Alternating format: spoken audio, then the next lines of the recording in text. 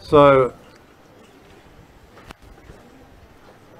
as a voice that speaks for many voices, I now formally endorse the statement from the heart on behalf of the Archdiocese of Brisbane.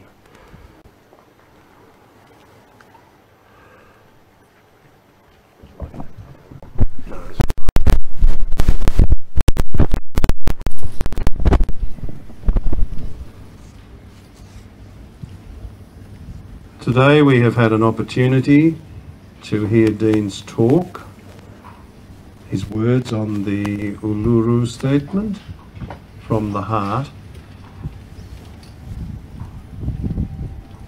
If we look at the situation in Australia, some Australians are still excluded.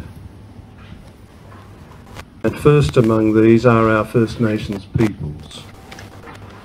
First Nations peoples have in many ways been turned into refugees in the land that they have called home for many thousands of years.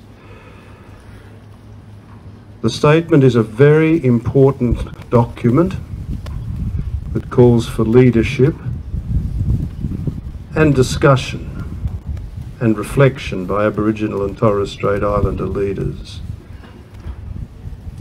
Our role is not to do things on behalf of Aboriginal and Torres Strait Islander peoples, but to listen to them, to learn from them, and to accompany them and support them to determine their own future.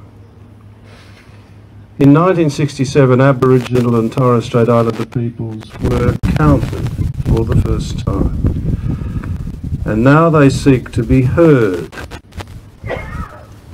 The Uluru Statement from the Heart invites us all to walk with Aboriginal and Torres Strait Islander peoples in a movement of the Australian people as a whole for a better future for this nation.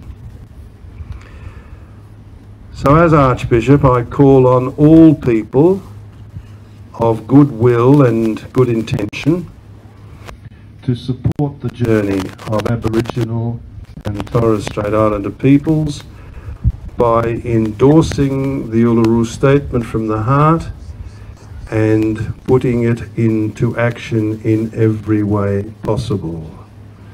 And may God, who has begun this good work in us and in many others, bring it to fulfillment. Amen.